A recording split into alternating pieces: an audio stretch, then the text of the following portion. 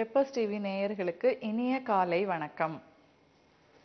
ஒரு புத்த பிக்ஷு அவருடைய சீடர் ரெண்டு பேரும் காட்டில் நடந்து போயிட்டு இருக்காங்க அந்த சீடர் வந்து புத்த பிக்ஷுவை பார்த்து ஒரு கேள்வி கேட்குறார் குரு குருதேவா நான் வந்து உங்ககிட்ட ஒரு சந்தேகம் கேட்கணும் சொல்லுங்க என்ன சந்தேகம்? சொல்லுப்பா என்னன்னு. இல்லை நான் வந்து உங்கள் சீடன் இறைவனை எப்படி அடையிறது? ஞான மார்க்கத்துக்கு வந்து எப்படி நான் போகிறது? அதை நான் ஞானம் அதை நான் பெறணும் அப்படிங்கிறது தான் என்னுடைய குறிக்கோள்.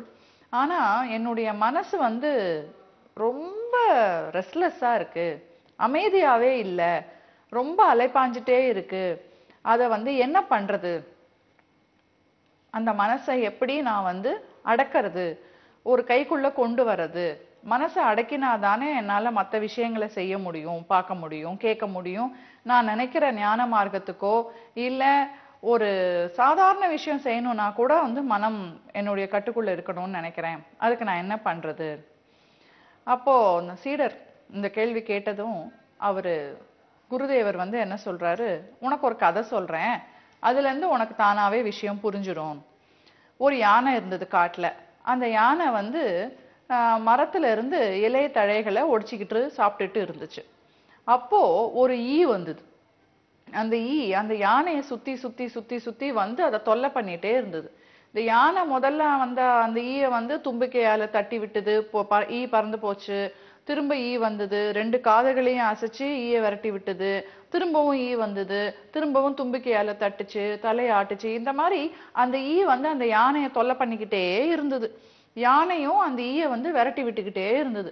கடைசியில் பொறுமையை இழந்து இந்த யானை கேட்டது ஆமாம் ஏன் இவ்வளோ பரபரப்பாக இருக்கே நீ? ஒரே ரெஸ்ட்லெஸ்ஸாக இருக்கே நீனு. அமைதியாகவே இருக்க மாட்டியா? சத்தம் போட்டுக்கிட்டே இருக்கிறே ஒய்ன்னு என்னது இது? அப்படின்னு கேட்குது நீ சொல்லுது நான் என்ன பண்ணுறது எனக்கு எதனா நான் பார்க்குறேனோ கேட்குறேனோ நுகர்றேனோ ஸ்மெல் அது பக்கம்லாம் நான் போயிடுவேன். என்னால் அமைதியாகவே இருக்க முடியாது. ஒரு இடத்துல இருக்க முடியாது நான். நீ எப்படி இவ்வளோ அமைதியாக இருக்க? இவ்வளோ பெருசாக இருக்கிறதுனாலயா? என்ன மாதிரி லேசாக இருந்தால் வேகமாக பறக்கலாம் வேகமாக வேலைகள் செய்யலாம். நீ இவ்வளோ பெருசாக இருக்க? உன் உடம்ப தூக்கிட்டு நீ நடக்கிறதுக்குள்ளே உனக்கு வந்து போரும் போரும் ஆயிடும் அப்படின்னு கிண்டல் பண்ணுது. யானை சிரிச்சுக்கிட்டே சொல்லுது உடம்புக்கு எந்த பிரச்சனையும் கிடையாது. நீ எவ்வளோ தூரம் எவ்வளோ வேகமாக நீ பறக்குறியோ அதே மாதிரி இவ்வளோ பெரிய உடம்பையும் எடுத்துக்கிட்டு என்னால் வேகமாக ஓட முடியும் எனக்கு வேணும்னா. ஆனால் அதெல்லாம் பிரச்சனை இல்லை. நான் ஏன் அமைதியாக இருக்கேன் அப்படின்னா என்னுடைய கவனத்தை நான் சிதற விடுறதில்ல. ஏன் என்ன வேலை அப்போ செஞ்சிட்ருக்கேனோ அந்த வேலையில் முழு கவனத்தையும் செலுத்திடுவேன். அதனால் பக்கத்தில் அக்கம் பக்கத்தில் நடக்கிறத பற்றி நான் கவலையே பட மாட்டேன். என்னுடைய சென்சஸ் என்னுடைய ஐந்து புலன்களும் நான் சொல்கிறத தான் கேட்கும். அதை நான் அடக்கி ஆள்றேன் அப்படின்னு சொல்லுச்சு. அடக்கி ஆள்றியா? அப்படின்னா இப்போ நான் சாப்பிட்டுக்கிட்டு இருக்கேன். இந்த சாப்பாடை பற்றிய எண்ணம் மட்டும்தான் என் மனசில் இப்போ ஓடிக்கிட்டு இருக்கு.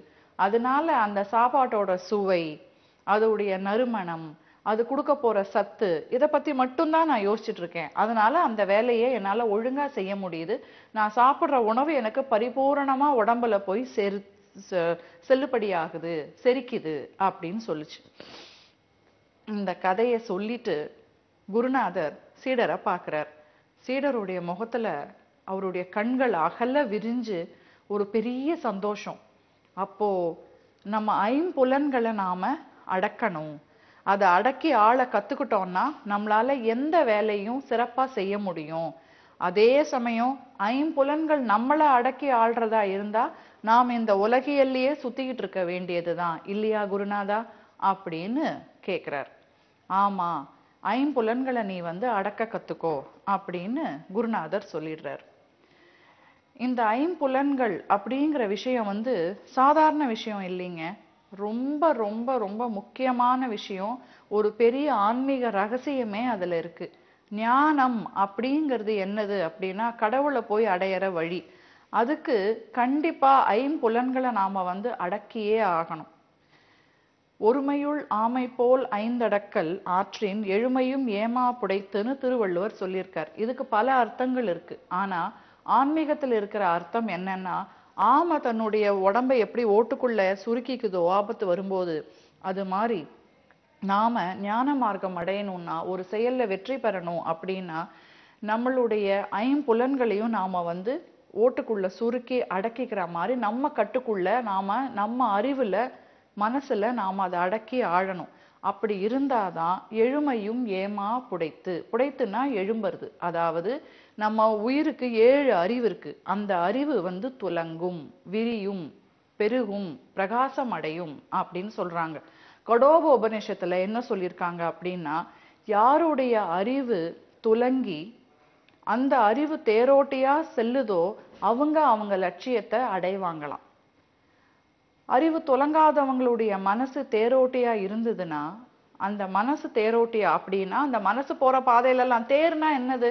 தேர் போகிற பாதையிலலாம் நம்ம போயிட்டுருக்கிற மாதிரி நம்ம மனசு சொல்கிற பாதையிலெல்லாம் நம்ம போயிட்டு இருந்தோம்னா நம்மளுடைய லட்சியத்தை நாம் அடையவே முடியாதாம். கடோபோபனிஷத்து திருக்குறள் திருமூலர் அவர் ஒரு சிறந்த பெரிய மகா ஞானி. சாதாரணமாகவே சொல்லியிருக்கார். என்ன சொல்லியிருக்கார்? பார்ப்பான் அகத்திலே பார்ப்பசு ஐந்து உண்டு. மெய்ப்பாருமின்றி வெறித்து திரிவன. மெய்ப்பாரும் உண்டேல் வெறியும் அடங்கினால் பார்ப்பான் பசு ஐந்தும் பாலாய் சொரியுமே. அப்படின்னா என்ன அர்த்தம்? உடனே ஐயரு வீட்டில் அஞ்சு பசுமாடு இருக்குன்னா யோசிக்காதீங்க. நாம தான் அந்த பார்ப்பான். நம்மளுடைய அகத்துல உள்ள ஐந்து பசுமாடுகள் இருக்கு. என்ன அந்த ஐந்து பசுமாடுகள்? ஐம்புலன்கள் அந்த ஐம்புலன்களையும் நாம் அடக்கி அறிவை நாம் தொலங்க வச்சுட்டோம்னா பாலாய் சொரியுமா? பால்னா சந்தோஷம். நம்ம நினைக்கிறத அடைவோம். லட்சியம் வெற்றி இது அத்தனையும் நம்ம வாழ்க்கையில தேடி வரும். அப்படிங்கிறத தான் பெரியவங்க பல பல உ- உபமானங்கள் கொடுத்து எக்ஸாம்பிள்ஸ் கொடுத்து சொல்லியிருக்காங்க. மறைமுகமாக சொல்லி வச்சுட்டு போயிருக்காங்க. ஆக மொத்தம் இந்த ஐம்புலன்களை நாம் வந்து அடக்கணும். என்னென்ன ஐம்புலன்கள்? அதுவே நிறைய பேருக்கு தெரியாமல் இருக்குது இந்த காலத்தில். இப்போ இந்த காலத்து இளைஞர்களுக்கு எல்லாமே வேணும். உடனடியாக வேணும். அதுவும் அதிக கஷ்டப்படாமல் வேணும். அப்படி உங்களுடைய நோக்கம் இருந்ததுன்னா கட்டாயமாக ஐம்புலன்களையும் நீங்கள் அடக்கி ஆண்டு வந்தீங்கன்னா you must learn to rule your mind and attention அதை மட்டும் நீங்கள் செஞ்சிட்டீங்க கண்டிப்பாக நீங்கள் நினைக்கிறது எல்லாம் உங்களுக்கு தாங்க. வெற்றி திருமகள் உங்களை விட்டு எங்கேயுமே போக மாட்டா. இன்னைக்கு ஒரு புது தத்துவத்தோடையும் கதையோடையும் உங்களை சந்திச்சிருக்கேன். நாளைக்கு வேற ஒரு புது கதை புது கருத்தோடு உங்களை சந்திக்கிறேன். நன்றி வணக்கம்.